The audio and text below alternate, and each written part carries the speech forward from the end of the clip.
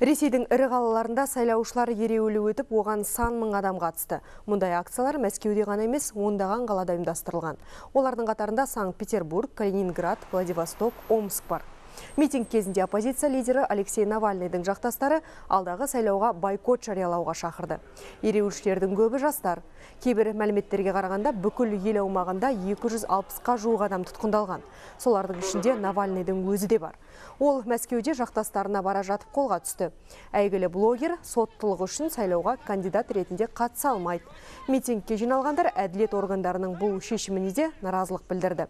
Әлеуметтік зерттеулерге жүгінсек, наурыздың 18-інде халықтың көбі Кремльдің қазіргі басшысы Владимир Путинге дауыс береді. Соған қарамастан кейбір демонстранттар сайлаудың заңға сәйкес өтетіндігіне сенбейді. Пришли на акцию забастовки, потому что мы Біз бұл ереуілге сайлаудың заңды өтетіндігіне күмән келтіргендіктен шықтық өйткені олар Алексей Навальныйды Ресей Федерациясының президенттігіне кандидат ретінде тіркеуден бас тартып отыр. Біз өз позициямызды білдіруге тиіспіз.